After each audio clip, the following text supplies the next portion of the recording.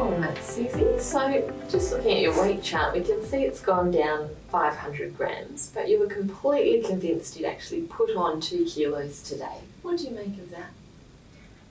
Yeah, that's so weird. I definitely thought my weight would be up today. Um, I just feel so gross and so fat today. You're feeling gross and feeling fat today, you said. Yeah. Okay. That's not the first time you've, you've described yourself as feeling fat. Um, have you noticed that? Tend to say that a bit. Yeah, definitely. I feel fat a lot of the time. Yeah. And we've noticed that it's something that, that people with eating disorders do tend to feel quite often and quite intensely as well. So it might be worth talking about today. Okay, sure. Yeah.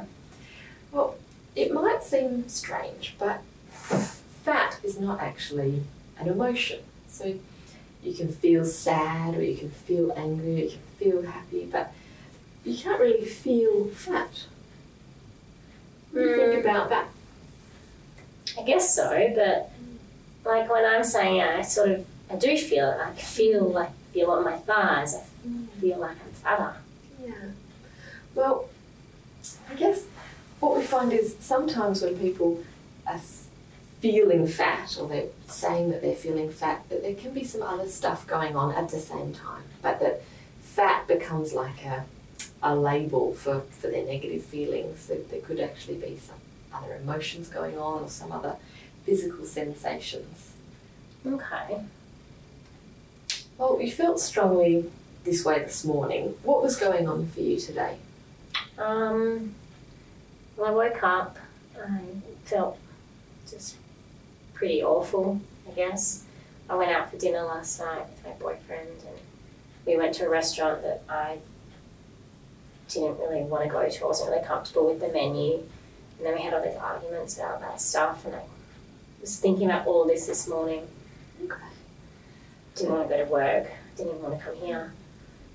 I wonder if maybe you were having some feelings about what happened last night, about the, the disagreement about the restaurant and how that went.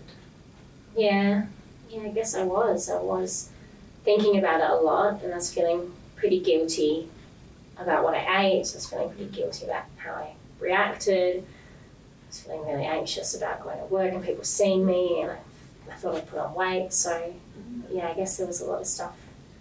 Sounds like there's a lot of difficult feelings going on actually. Yeah. And, you know, what can happen is that when we're feeling lots of negative feelings, it's all very confusing and overwhelming.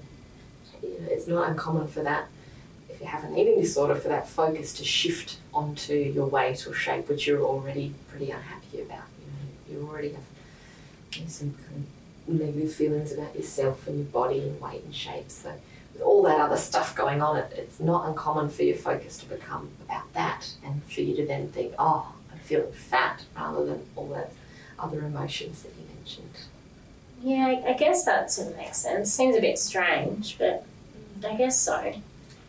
But I, like, I am just fat, so Right. Well, don't forget that your weight's actually gone down today, and remember you weren't actually feeling so fat last session, if you recall. There's been sessions where you've you've reported feeling really fat, and then sessions where you felt pretty good.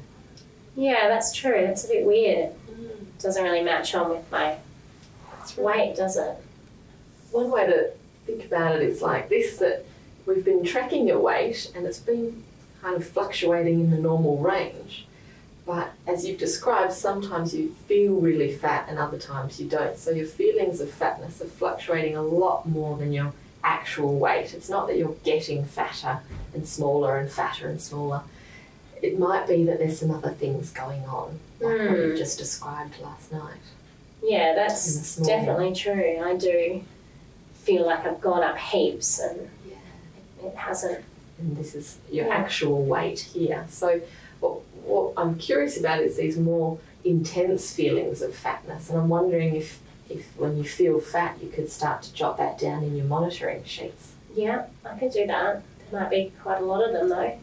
Yeah, well, I understand that often you, you can feel fat, but let's focus on the really intense times because I think they'll provide the most information for us. Okay, sure.